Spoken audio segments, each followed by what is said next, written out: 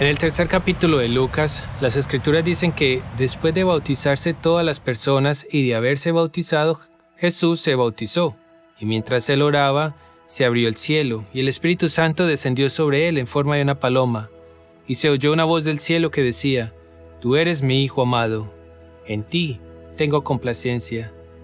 Al principio del capítulo siguiente, en el cuarto capítulo, Lucas dice, Lleno del Espíritu Santo, Jesús volvió del Jordán y fue llevado por el Espíritu al desierto para ser tentado por el diablo durante cuarenta días. Esa ha sido una imagen de las escrituras sobre la cual he orado mucho durante varios años. En el relato nos encontramos con Jesús en el Jordán, que los cielos se abren y que el Espíritu Santo cae sobre él y lo llena, y el Señor se complace en él y luego, en el próximo pasaje, Jesús es lleno del Espíritu Santo y ese Espíritu lo guía por el desierto. Marcos emplea palabras más potentes. San Marcos dice que el Espíritu Santo condujo a Jesús al desierto. El desierto al cual Jesús fue se llamaba la devastación. Para nosotros el desierto evoca muchas ideas diferentes, pero esto era algo muy real para el pueblo de Israel, porque para la gente de Israel el desierto representaba de cierta manera todo lo que había salido mal. El desierto era el lugar de la derrota. El desierto era el lugar del aislamiento. El desierto era el lugar de su infidelidad. Hay un poderoso pasaje del Antiguo Testamento, cuando una vez al año en el día de la expiación llevaban los corderos y, de forma simbólica derramaban la sangre sobre el cordero y se lo llevaban al desierto. Y de forma simbólica el cordero de Dios se llevaba los pecados al desierto, lugar de muerte e infertilidad. El Espíritu Santo lleva a Jesús al desierto, como si dijera, esta vez será distinto. El lugar de los errores, el lugar donde todo salió terriblemente mal, yo lo voy a cambiar. Lo convertiré en algo nuevo. El desierto será distinto, porque el Espíritu Santo lleva a Jesús al desierto. Hay tantas imágenes hermosas para reflexionar. La primera es la obvia, cuando el maligno tienta a Jesús en el desierto. Es importante que pensemos en eso que no fue el Espíritu quien tentó a Jesús. El Espíritu Santo empoderó a Jesús y lo llevó al desierto, pero fue el seductor, el maligno, Satanás, el que tentó a Jesús. Y la otra cosa que creo que es importante que recordemos es que el maligno no tentó a Jesús precisamente en un momento de debilidad. Pienso que en ocasiones creemos en eso, pero olvidamos que Jesús llevaba 40 días en el desierto y tenía hambre. ¿Qué hizo el maligno entonces? Le dijo, convierte estas rocas en pan. No tentó a Jesús en su debilidad, lo tienta en su vulnerabilidad. Jesús tenía hambre, llevaba 40 días en ayuno y el maligno le atacó en ese momento de hambre. Le dijo, convierte estas rocas en pan. Pienso que hay algo en lo que podemos reflexionar. Cuando el maligno viene a nosotros, busca nuestra vulnerabilidad y la ataca.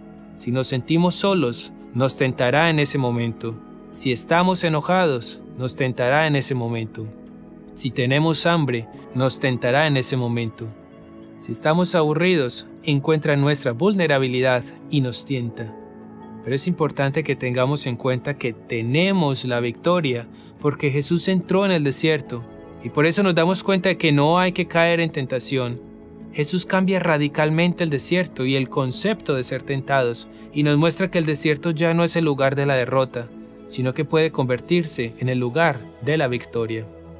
El último año de secundaria ya no quería más, nada me importaba, solo quería salir de fiesta. Ya no tenía fe. Gran parte de mi vida sufrí de mucha ansiedad, sufrí ataques de pánico terribles mientras crecía y de verdad culpaba mucho a Dios por eso. Recuerdo haberle pedido a Dios que me lo quitara y me diera otra enfermedad.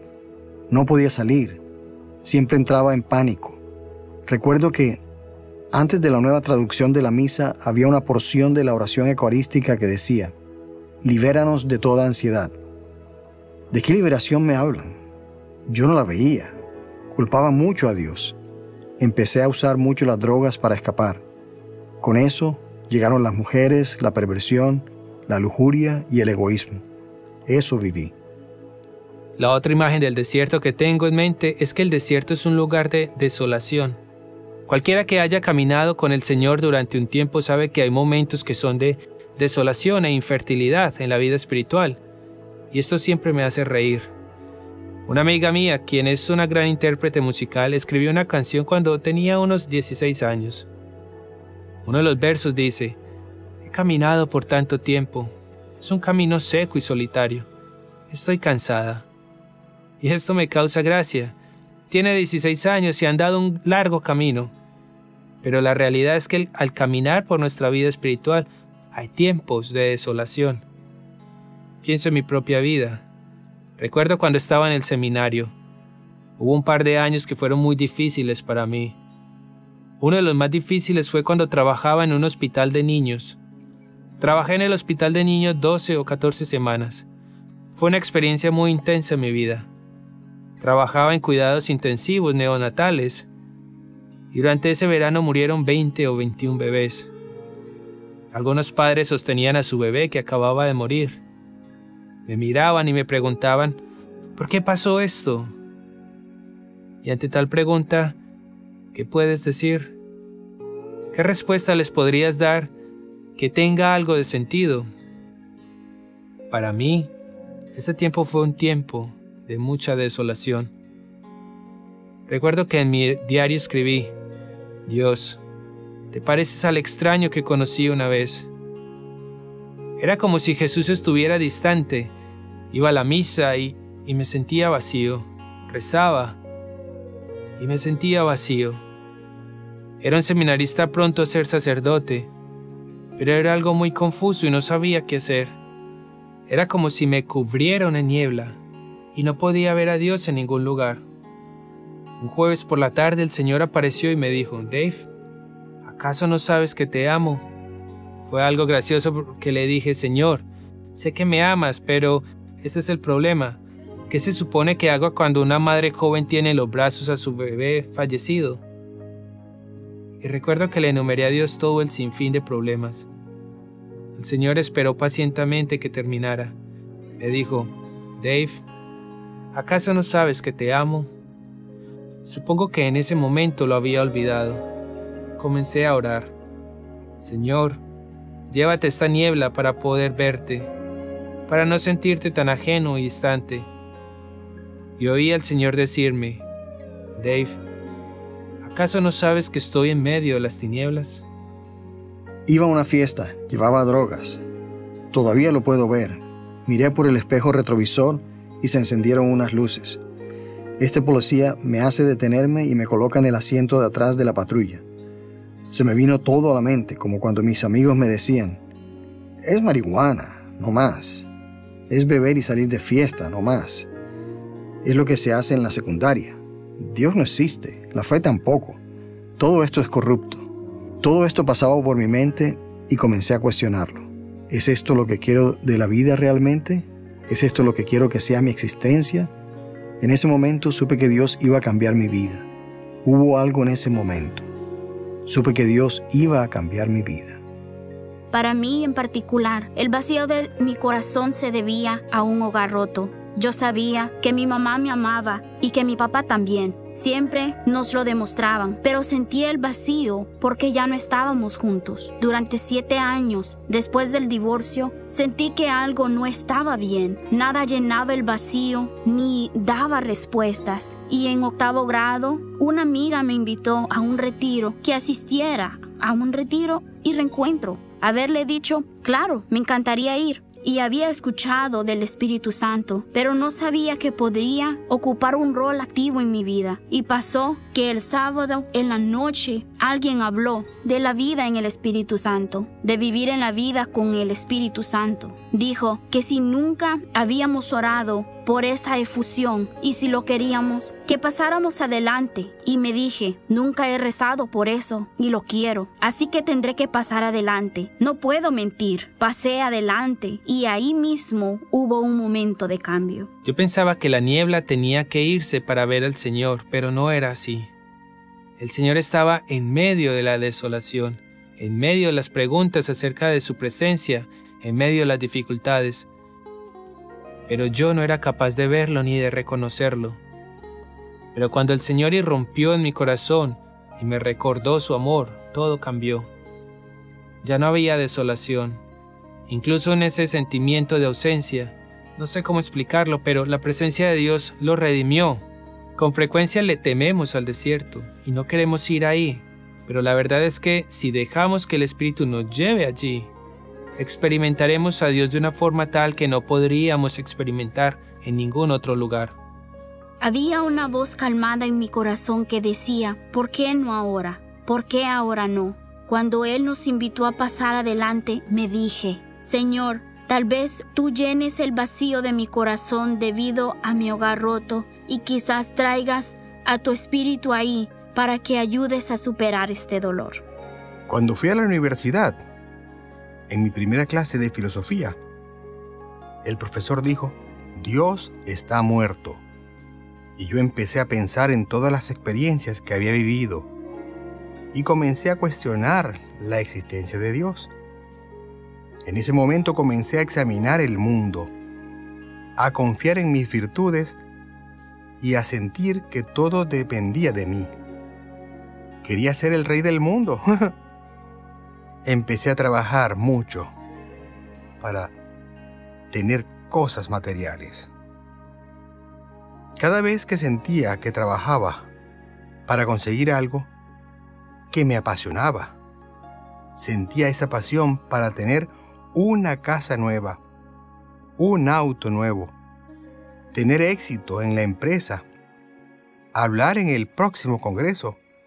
Y en cada ocasión había ese vacío. Pensaba, bueno, tal vez es esta próxima gran meta. Pero adquirir bienes materiales nunca satisfizo el vacío que sentía. La otra imagen del desierto en la que quisiera reflexionar es el lugar del aislamiento que representa. En el desierto hay una enorme soledad. Estoy seguro de que parte de la razón por la cual Jesús se va al desierto es para estar solo, pero a la misma vez nos recuerda algo significativo de la vida espiritual, y eso es que hay momentos en la vida cuando nos sentimos solos, y que eso es parte de la manera en que fuimos creados. Hay un vacío en mi corazón que solo el Señor puede llenar. Hay un vacío en nosotros que tratamos de llenar con otras cosas, con el trabajo, actividades, recreación, entretenimiento y todo eso, pero hay un vacío y una soledad que Dios puso en nuestro ser.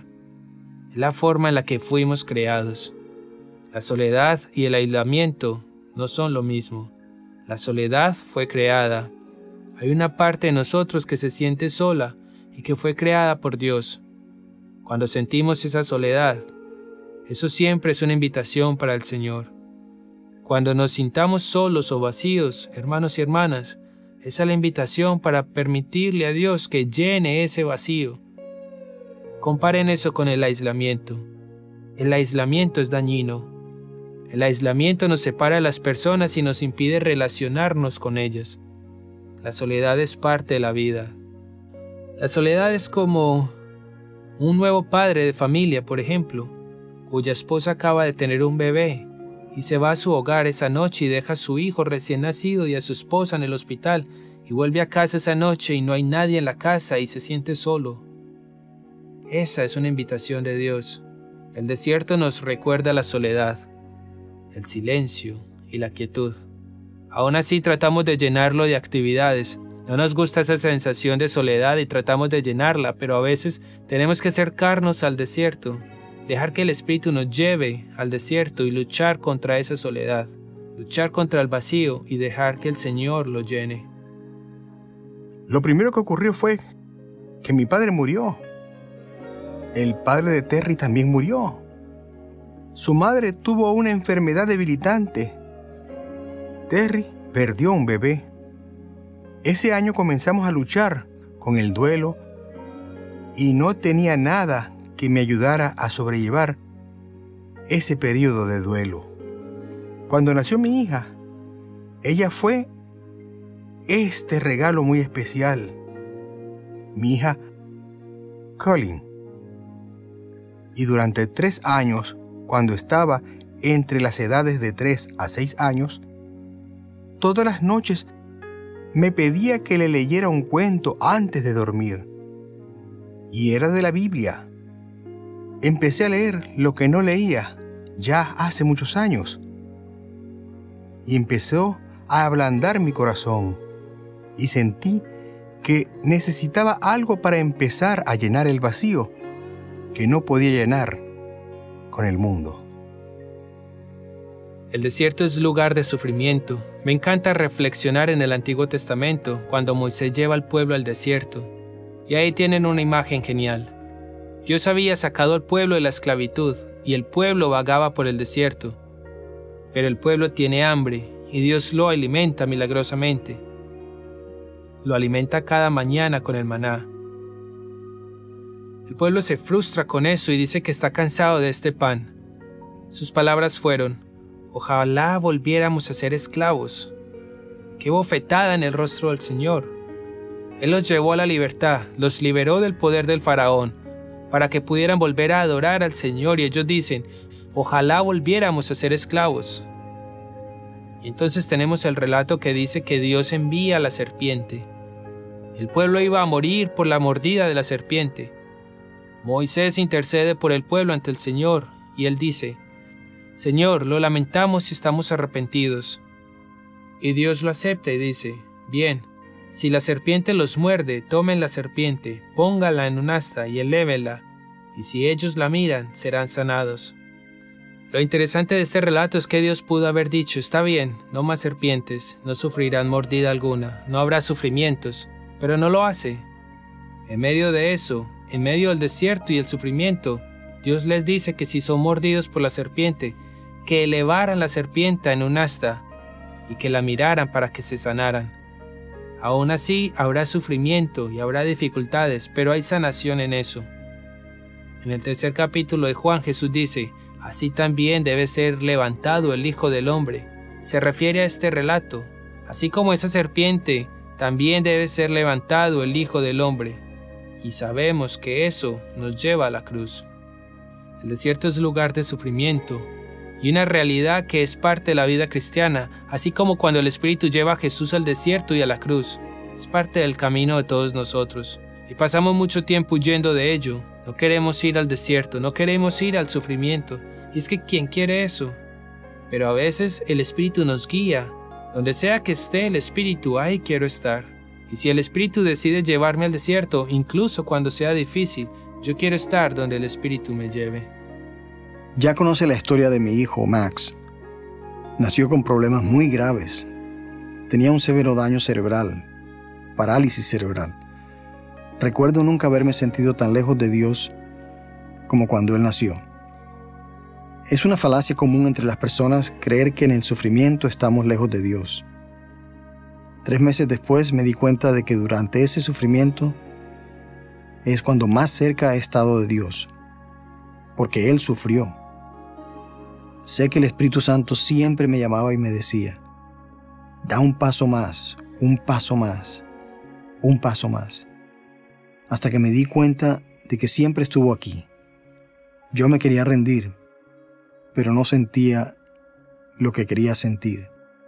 No sentía esas emociones positivas que pude haber sentido y fue en ese momento, ahora, cuando miro hacia atrás, mis 30 años de vida, cuando más cerca estuve de Dios fue en ese sufrimiento. Recuerdo lo que viví en África. Estaba con un obispo y él me pidió que rezara por un amigo de él, que era sacerdote. Yo estaba muy agradecido de haber hecho eso.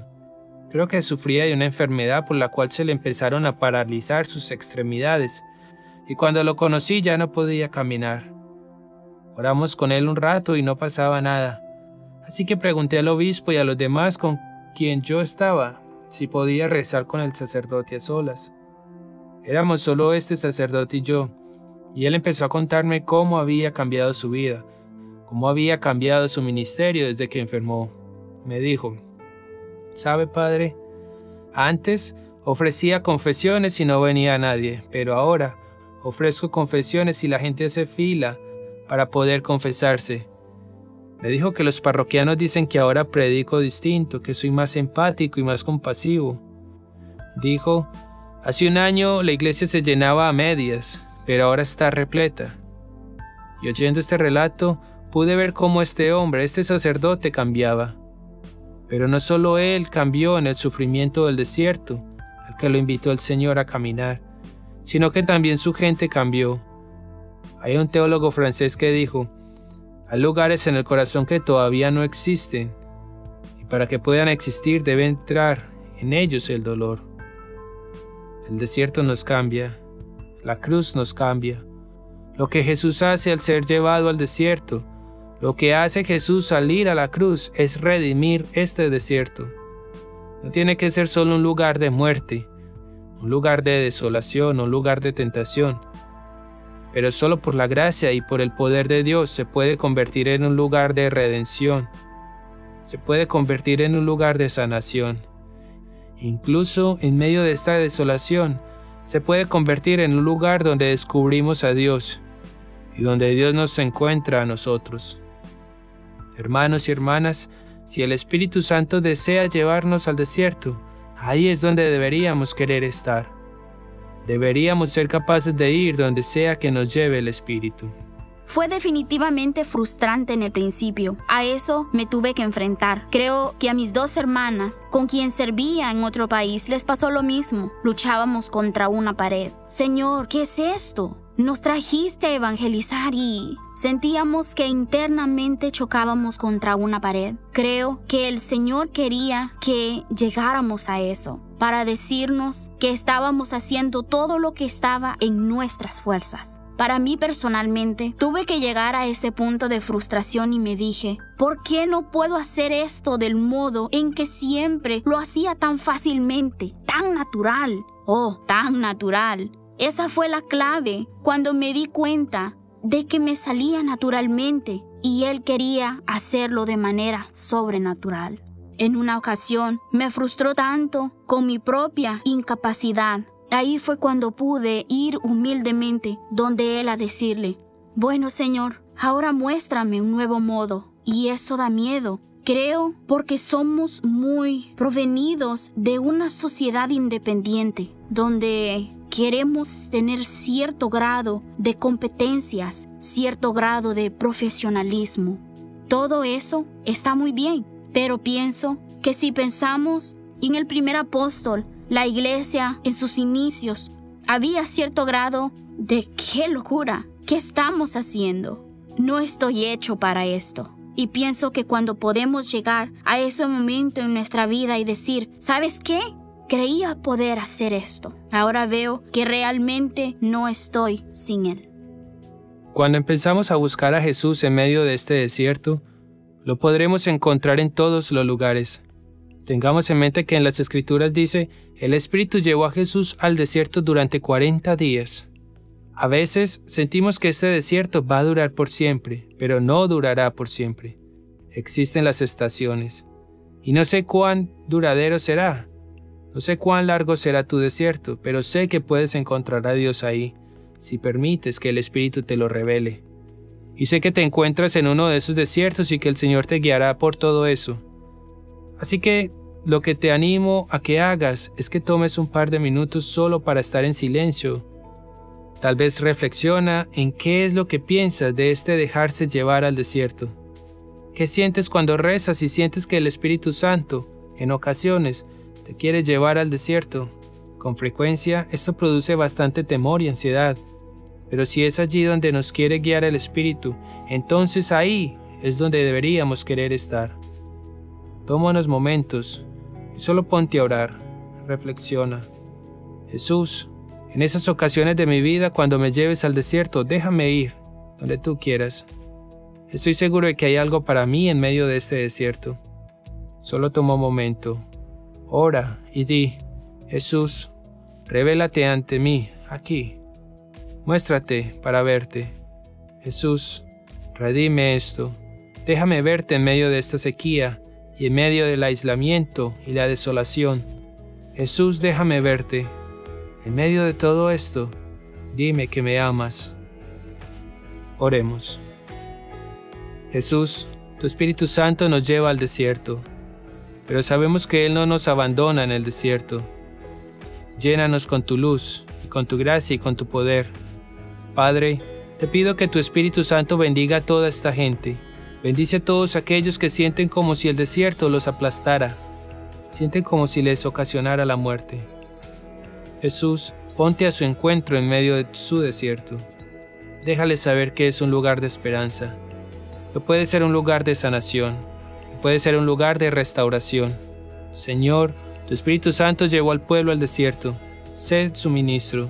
Sé su ministro en medio de su soledad, en medio de su temor, en medio de su ansiedad, en medio de su tentación. Jesús, date a conocer. Señor, por el poder del Espíritu Santo, por el poder del ganso salvaje, danos vida en medio de este desierto. Que el Dios Todopoderoso los bendiga en el nombre del Padre, y del Hijo, y del Espíritu Santo. Amén.